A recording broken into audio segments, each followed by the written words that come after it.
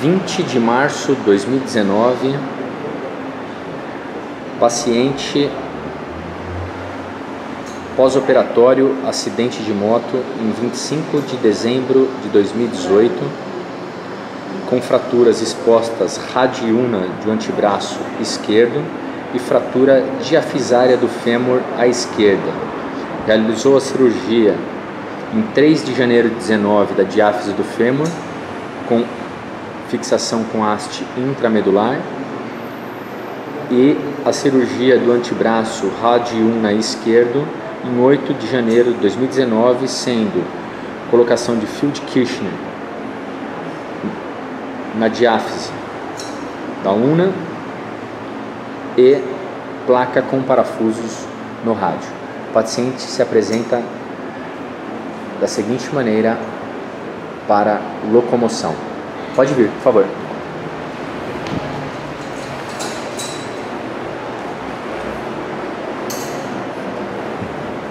Devagar aí, Rafael.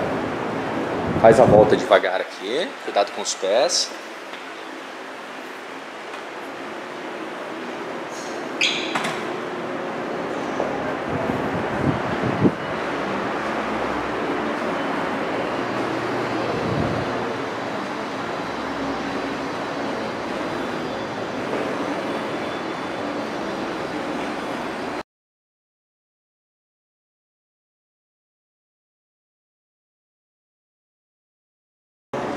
20 de março de 2018, inspeção, paciente politrauma. Pode virar esse aqui devagar para a gente ver a lesão na lateral. Você consegue virar mais ainda para cá? Um pouquinho, aí lesão lateral do pé esquerdo, um edema. Pode voltar, por favor? Estender os dois pés, um edema considerável.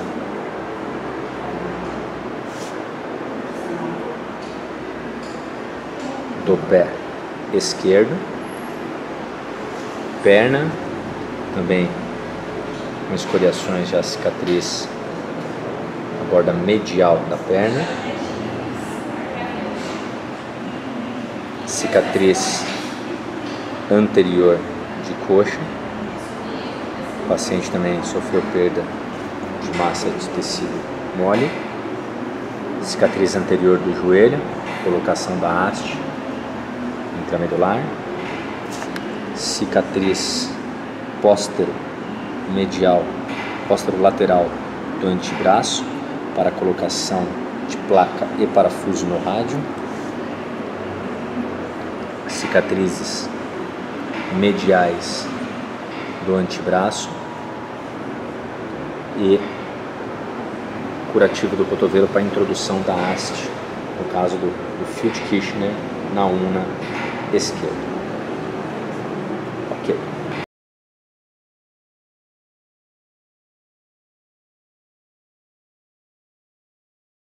Vinte de março de 2019, exame físico, amplitude de movimento, cotovelo e punho do jeito que você está, eu quero que você tente dobrar o máximo que você conseguiu o cotovelo. Isso. Esse é o máximo. Então, paciente com flexão de 90 graus do cotovelo, também sendo limitada, porque o paciente vai fazer ainda a retirada do field Kirchner da una, pode fazer o movimento de estender o cotovelo máximo que você conseguir. Na goniometria, o paciente apresentou por volta de menos 30, 40 graus de extensão do cotovelo, ok? Mantenha o cotovelo fletido agora. Do jeito que você está, você vai rodar a palma da mão para cima o máximo que você conseguir. A supinação ela é normal porque é o mesmo movimento bilateral. Põe para baixo agora. Então, prono-supinação, movimentação normal. Do jeito que você está, põe o punho para baixo o máximo que você conseguir. A flexão também está preservada bilateralmente e estende a extensão já com uma certa limitação de aproximadamente 10 graus de extensão. Ok? Muito bem. Do jeito que você está, puxa a ponta do pé para cima.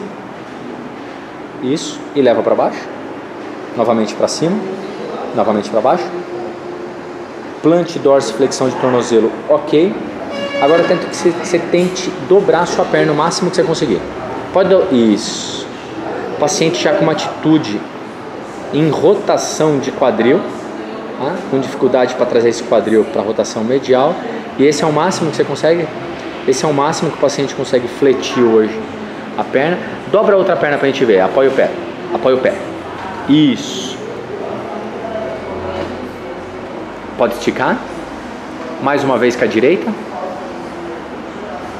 Tenta dobrar essa igual. Não dá? Ok. Aí o paciente com grande dificuldade, dor, limitação de amplitude de movimento para movimentação do membro inferior esquerdo. Um edema considerável de pé e perna.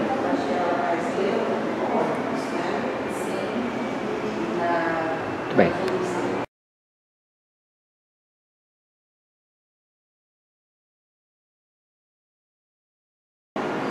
Olá, saudações a todos. Hoje eu vou aplicar com o paciente uma técnica de liberação cicatricial para um pós-operatório, uma fratura diafisária do fêmur, uma fixação com haste, uma estabilização com haste intramedular. O paciente dando entrada hoje, filma aqui a, a cicatriz. Né? Então a cicatriz com uma aderência até relevante, repara que essa cicatriz, por ser tão profunda, ela fica bem aderida nos tecidos que estão embaixo dela. É interessante sempre a gente soltar esses tecidos, tá? Ou seja, mobilizar sobre essa cicatriz. Eu vou ensinar para você um pouco como fazer isso para você fazer no seu dia a dia também, tá? Então, a cicatrização do paciente já está perfeita, tá? Eu vou entrar em contato aqui com a cicatriz, ó. Só tomando contato com os meus dedos. Vamos supor, a cicatriz está aqui no centro. Eu entro em contato com os meus dedos lateralmente a cicatriz e vou pinçar com os meus outros dedos a cicatriz, tá? Então a cicatriz está aqui no centro, eu vou pinçar ela e vou mobilizar ela de um lado para o outro, ó. Profundamente. É doloroso isso para você? Não. E começa a mobilizar. Ó. Então eu tenho que aplicar, no caso do paciente, eu tenho que aplicar uma resistência que seja suficiente para mobilizar os tecidos que estão no subcutâneo dela, dessa cicatriz que foi formada. Então todas essas aderências cicatriciais que foram criadas. E eu vou mobilizando isso no sentido lateral-lateral, crânio-caudal. Então eu vou em diversos sentidos, de um lado para o outro, para cima para baixo, numa diagonal, na outra diagonal, no intuito do que diz, soltando os tecidos que estão abaixo dessa cicatriz, tá? Então a ideia aqui é quebrar as aderências cicatriciais da coxa do paciente. Então essa é a cicatriz da fratura que ele teve, tá? Porque a haste ela entrou aqui pela região do joelho e aqui por cima, mais próximo à virilha. Certo? Uma haste bloqueada, uma haste intramedular foi colocada no fêmur. Então a técnica de liberação. Se precisar pegar aqui pelo lado, vem aqui pelo lado, tá? Aqui pra você conseguir pegar exatamente. Ó, aqui e liberando a cicatriz. Claro, a gente não está usando luva nem nada, por quê? Porque a cicatriz dele já está bem sequinha, é, muito bem já cicatrizada, então não tem perigo algum.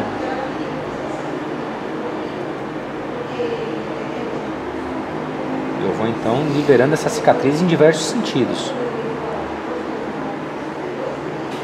Lembra, eu preciso liberar os tecidos que estão abaixo dessa cicatriz, todas essas aderências. O paciente tem de pós-operatório dois meses e meio, aí dois meses e quinze dias aproximadamente.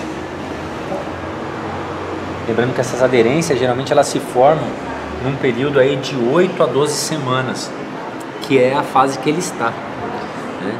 Então, se a gente já tivesse recebido você antes, a gente já tinha te orientado isso para ser feito já em casa, já durante o período de cicatrização. Claro que aqui a gente tem uma, uma cicatriz bem profunda, bem extensa, não é uma cicatriz tão simples. Tá? Então, liberar essa cicatriz, diferentes sentidos. Nesse, nesse momento agora você não precisa passar creme algum para deslizar nem nada. Pelo contrário, é importante você ter o contato da pele para você conseguir deslizar a sua pele do tecido cutâneo do subcutâneo. Tá? Então, para tirar essa aderência dos tecidos subjacentes, os tecidos que estão abaixo da cicatriz. Ó. E eu tenho que colocar uma força né, que seja considerável para conseguir mobilizar esse tecido de forma adequada. Né? E posso fazer de sentido, ó, crânio caudal, aquela tá mais soltinha nesse sentido, ó. Mas você tenta liberar ela sempre em todos os sentidos, tudo bem? Então, para baixo, para cima, que seria o crânio caudal, látero medial, então para lateral e para dentro, em diagonal ascendente, diagonal descendente, então em todos os sentidos. E até movimentos circulares você pode fazer sobre a cicatriz. Ó. Sentido horário, sentido anti-horário, ok? Pegando diversos pontos dessa cicatriz.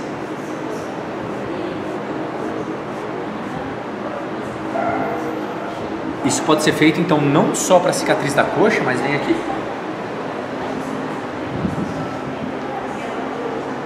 Como para cicatrizes também que o paciente tem, então politrauma, né?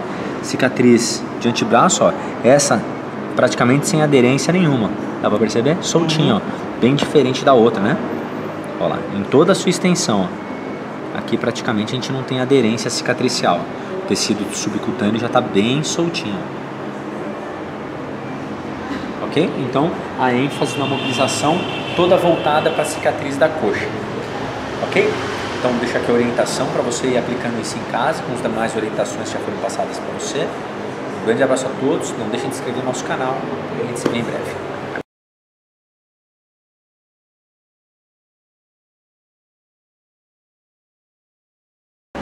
Olá, saudações a todos. Bem, Hoje eu vou passar algumas orientações domiciliares com o paciente, então uma fratura diafisária do fêmur.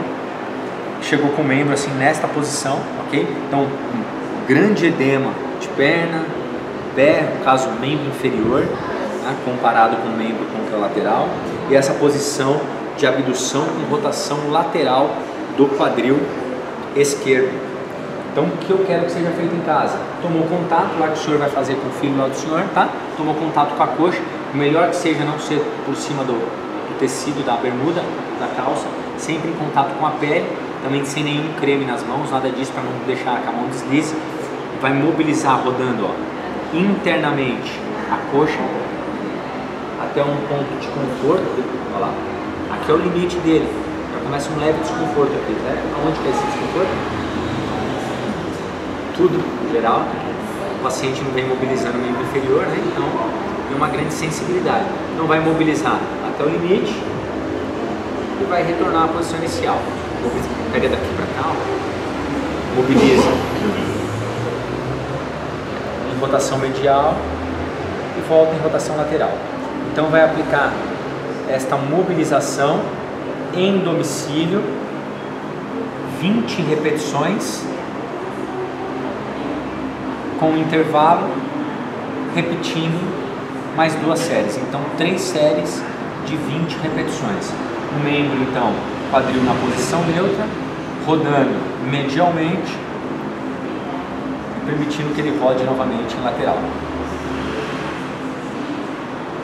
Então, vai aplicar 20 repetições, intervalo e reaplicar a técnica, tá?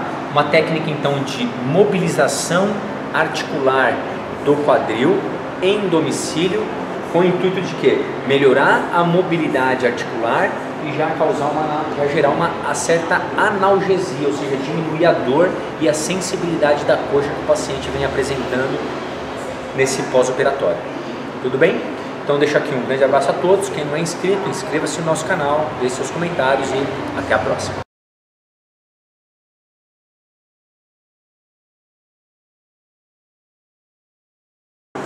Olá, saudações a todos. Dando sequência às orientações domiciliares para o paciente, então, politrauma com fratura diafisária do fêmur e de rádio e una do antebraço esquerdo, vamos passar um exercício agora para o paciente que nós chamamos de exercícios metabólicos. São exercícios para melhorar o que? essa drenagem, o retorno venoso do membro inferior esquerdo. Então, se a gente fizer um comparativo, na perimetria do paciente, que é a medida da circunferência do membro, ele tem no membro inferior esquerdo 54 centímetros de circunferência e no membro inferior direito 47 centímetros, ou seja, 7 centímetros de edema no membro inferior aqui na perna, na circunferência da diáfise aqui da, da perna dele. Então uma diferença de 7 centímetros no pé, no caso aqui do dorso do pé, mais para a região de antepé. Olha, pegar que está bem, né? Tá parecendo um pãozinho de queijo aqui, bem arredondado, parecendo um fusquinha aqui o pé, né?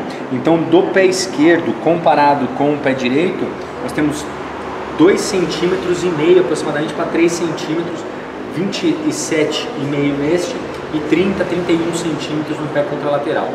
De tornozelo também nós temos 27 centímetros e meio aqui e 32 e meio no outro, no outro tornozelo, ou seja, um, um edema considerável de membro inferior. Orientação para o paciente em casa, exercícios metabólicos que ele vai fazer 4, 5 vezes durante o dia, sem carga durante 3 a 5 minutos. Como que será feito? Segura aqui que você vai encaixar a bola aqui depois para mim, passa aqui por trás. Então, o acompanhante vai tomar contato na região do calcanhar do paciente e com a mão lateral vai pegar sobre o joelho. Vai levantar levemente a perna, o paciente está com a perna todo o peso soltando aqui, tudo bem? E vai relaxar. No caso dele, ok. No caso dele, poderia ser é, almofadas, cobertor, tem até uma cadeira mais baixinha, colocou aqui, aí põe a almofada em cima, vai ficar a perna apoiada sem perigo de cair de um lado ou para o outro, né, diferente da bola. E aí com a perna aqui em cima, bem relaxada, vai fazer o movimento de trazer a pontinha do pé ativamente para cima e levar ativamente para baixo. Ativamente para cima e para baixo. Pode fazer devagarinho, tá? Sem exagerar, sem forçar, além do limite. O que eu quero? Um exercício de baixa intensidade, ativo livre, que nós chamamos sem resistência, de contração e relaxamento da musculatura da panturrilha, do tríceps sural. Esse movimento ele vai comprimir e relaxar a parede das veias, o que vai facilitar o retorno venoso. Então é claro, quando o paciente acorda pela manhã, ele não tem a necessidade de já fazer o exercício. Por quê? Porque ele passou a noite inteira com o membro no mesmo nível da área cardíaca. Porém, quando ele fica em pé, ou que ele vai ficar sentado na cadeira, com o membro inferior para baixo, o pé já começa a inchar novamente. Então esse exercício tem que ser feito várias vezes durante o dia para quê? Para facilitar o retorno venoso. Então, um exercício nós chamamos de exercício metabólico para aumentar o que? O retorno venoso do nível inferior, diminuindo o edema e a sensação de peso, desconforto da perna, ok? Exercício para casa, para ser realizado então de 4 a 5 vezes por dia, durante 3 a 5 minutos, com auxílio do acompanhante, agora inicialmente para colocar a perna sobre alguma região elevada. Não adianta fazer exercício sentado, eu sentado aqui com a perna esticada, por quê? O membro inferior tem que estar acima da linha cardíaca, para facilitar exatamente esse escoamento, esse retorno venoso, ok? Então deixo aqui um grande abraço a todos, quem não é inscrito, inscreva-se no nosso canal, deixe seus comentários e até a próxima.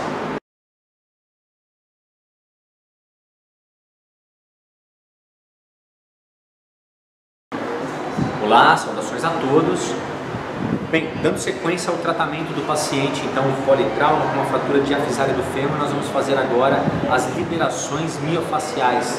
O paciente, então, hoje se queixa muito do quê? De movimentar o membro inferior. É claro, ainda apresenta muita limitação de amplitude de movimento, tanto pela rigidez da articulação, principalmente do joelho, e a grande sensibilidade dos movimentos do quadril. Então a gente vai começar a soltar um pouco essa musculatura para trazer um mais conforto para o paciente durante o dia a dia, durante os movimentos. Tá?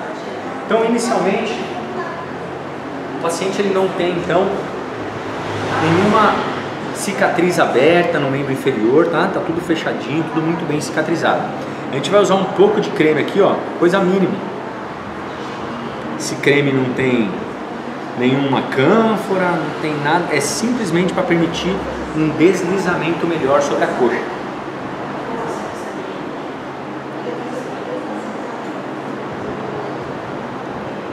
Que eu vou fazer? Eu vou primeiro dar uma alinhada aqui no membro inferior do paciente, ó.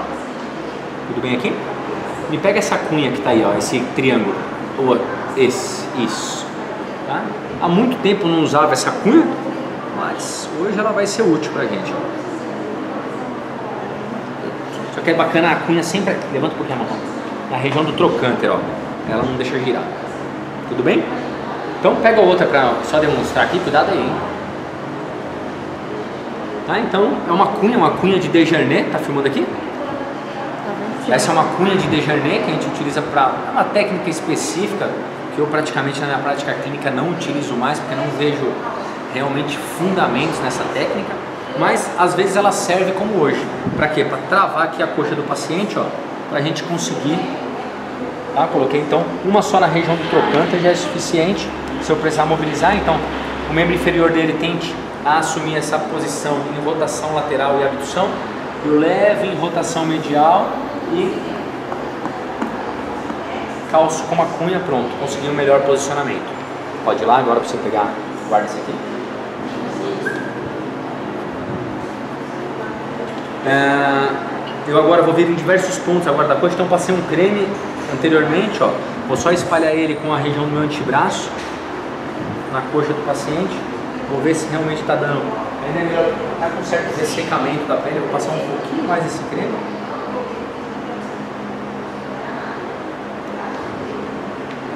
Lembrando que não é a quantidade de creme, e sim a, a técnica em si que será aplicada, tá? E a gente vai começar agora a soltar essa musculatura de coxa. Vem causando aí grande desconforto para o paciente. Eu quero que você pegue bem as imagens, tá? Pode pegar outros ângulos se for o caso. Eu vou só deslizar sobre a coxa do paciente. É sensível? Um pouquinho? Provavelmente a gente vai encontrar alguns pontos bem mais sensíveis aqui durante o seu tratamento. Onde tiver algum ponto mais sensível, você me fala. Tá? Região lateral da coxa, geralmente mais sensível, região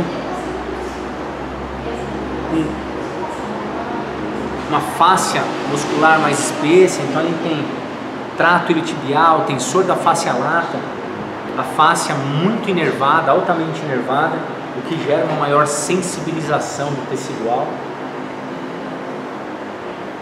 Tolerável aqui? Tolerável. E a gente então vai fazendo essa liberação miofacial. Começar a dar a volta, pega aqui por cima. Fechar mais a manobra, tá? Uhum. Pode, pode, vir mais pra frente, ó. Pode, Pega. pega mais a manobra e isso especificamente está sendo feito, ó.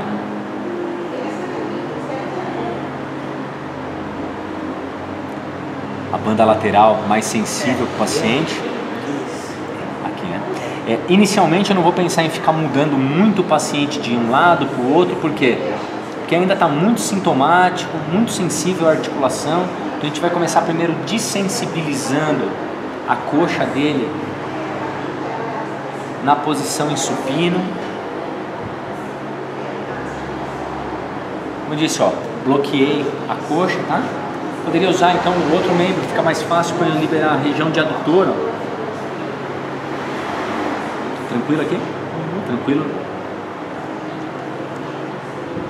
Então, aspecto medial da coxa, sem grande sensibilidade, a sensibilidade maior na porção lateral Anteriormente eu tenho a cicatriz aqui, não tem problema, ela está bem cicatrizada, bem fechadinha, está sequinha, sem sinais inflamatórios, sem sinais de infecção. Então saindo, não está saindo nenhuma secreção nem nada. Pode guardar. Pode guardar.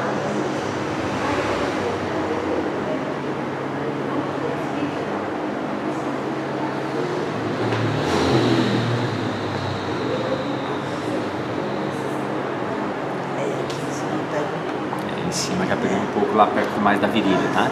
Então, são as áreas que a gente precisa liberar bem aí. Região de coxa, interior mais próximo à virilha.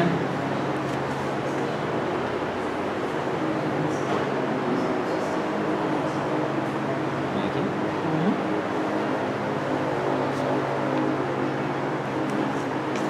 Pode levar. Pode, pode fechar, pode levar. Então, uma, uma fratura extensa que o paciente teve.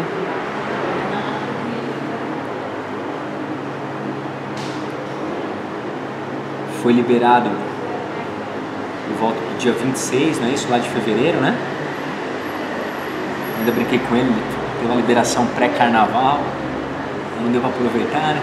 Não deu pra pular, não. A sensibilidade está a mesma, igual ou pior? Mais pra cima. Aí. Aí é o pior. Aqui é o pior. Tá? Então ele já delimitou um pouco mais a área mais sensível, que é essa porção. A gente pode dar uma ênfase maior aqui, ó.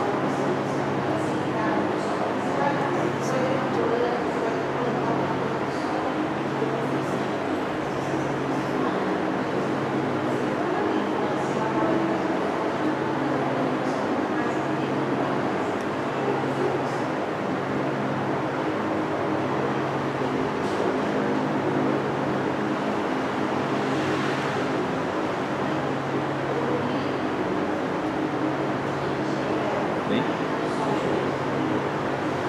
Bem. Vem pelo outro lado aí. E agora a gente vai entrar com algumas manobras específicas para a região, com certeza, ilíaco, virilha, pode pegar bem específico, tá? Eu vou palpar, então eu vou margeando lá. Ele já sente, já tá uma certa aflição na região, tá? Eu vou margeando a região do ilíaco, vou levantar um pouquinho aqui, tá? Ó, vou margeando a região de ilíaco, que é profunda aqui dele, no caso. Não dói, só tem uma certa aflição, é isso? E aí a gente vai começar agora, ó, a entrar. Doloroso isso? É, olha lá, é doloroso. Eu vou comprimir a região levemente. Tolerável aqui? Então, inicialmente, ó, o que eu quero fazer? Eu quero entrar com os meus dedos ali no ilíaco, então, então eu tenho ilíaco, eu quero entrar com os meus dedos sobre o ilíaco e aprofundar medialmente a ele. Só que o paciente ainda, é claro, passou por uma baita cirurgia, tem um espasmo muscular muito grande, uma hipersensibilidade, então a gente vai bem devagar. Aí, tá no limite dele. Eu vou só manter essa pressão. Quando aliviar, você me fala. Eu só sustento. Vou manter por alguns segundos, o que for suficiente para o paciente sentir. Olha lá, já senti um leve alívio. Eu vou trocar de ponto. Seu limite. Chegou já? Aí, ó, tá no limite dele. Mesma coisa, vou manter. Lembrando que o paciente já aliviou. Ótimo. Olha lá. Então tem que ter uma noção muito boa de palpação, sensibilidade na ponta dos dedos, para localizar bem a estrutura anatômica que a gente quer atingir. Aliviou? Vou voltar de novo superiormente, lá pela crista ilíaca, ó. Já chegou no limite dele. Vou manter a pressão, pode aprofundar aqui a.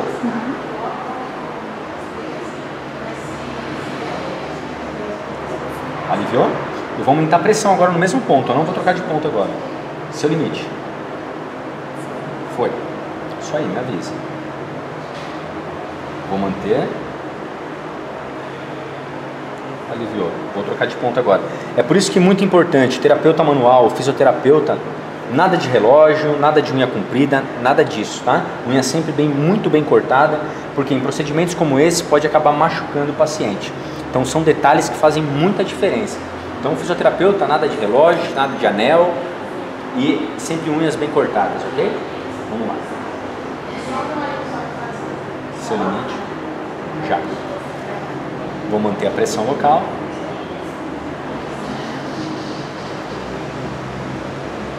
Então, extremamente sensível, né?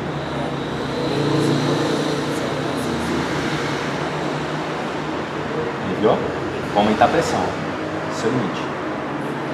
Foi.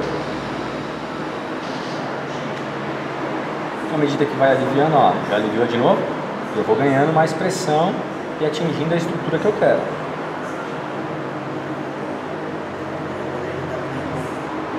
E ele vai liberando tecido, ó lá.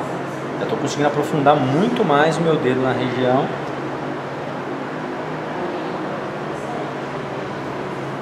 Já aliviou. Você vê como é relativamente rápido no seu caso? Isso vai variar muito de paciente para paciente, pessoa para pessoa, tá?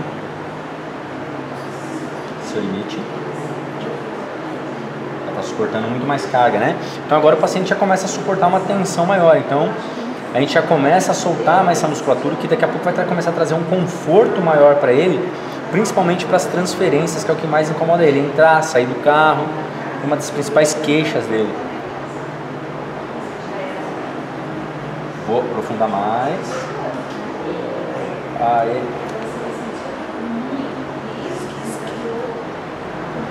É uma sensação de calor? Porque melhora. Então, o paciente falou que parece que tem uma sensação que esquenta a região porque melhora a vascularização também, distensiona a fibra muscular, a gente tem uma permeabilidade maior do fluxo sanguíneo, o que provavelmente traz a sensação de um calor local maior, tá? Uma perfusão sanguínea maior. Seu limite. Olha o quanto a gente já está conseguindo comprimir. Antes mal a gente estava conseguindo tocar. Dá para perceber? Então, inicialmente, são essas técnicas que a gente vai iniciar com o paciente para quê? Para soltar, liberar essas articulações, liberar esses espasmos, essas tensões musculares, para a gente começar a poder realmente mexer na articulação dele.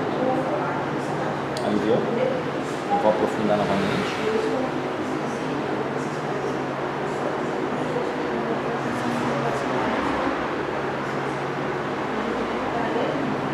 Então foi bem perceptível, interessante, foi a primeira vez que nós aplicamos a técnica já deu para ver a progressão aqui, né?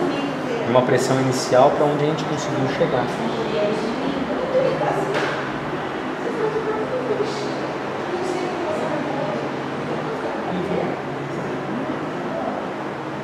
E aí eu posso trazer agora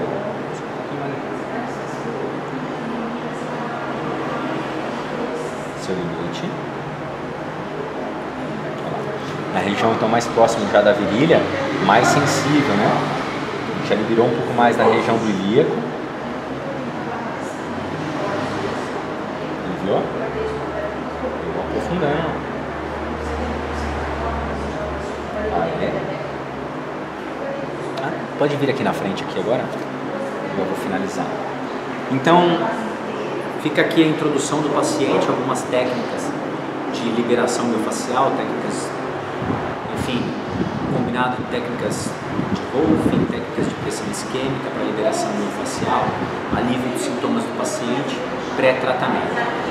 pré-mobilização para ganho de ADM, enfim, todos os demais procedimentos que agora irão compor o tratamento do paciente. Deixo aqui um grande abraço a todos, quem não é inscrito, inscreva-se no nosso canal, deixe seus comentários, compartilhe com seus amigos e a gente se vê em breve. Até mais.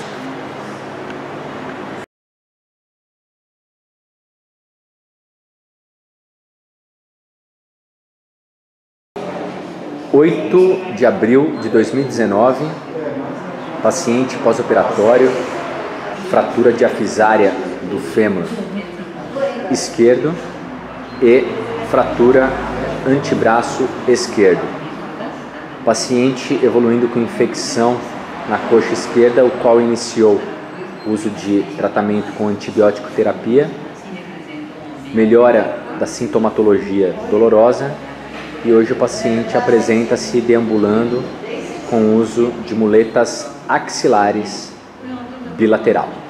Pode vir, por favor. No primeiro dia, o paciente então deixando o uso da cadeira de rodas. E essa forma de deambulação do paciente sem orientação alguma, como ele está se apresentando hoje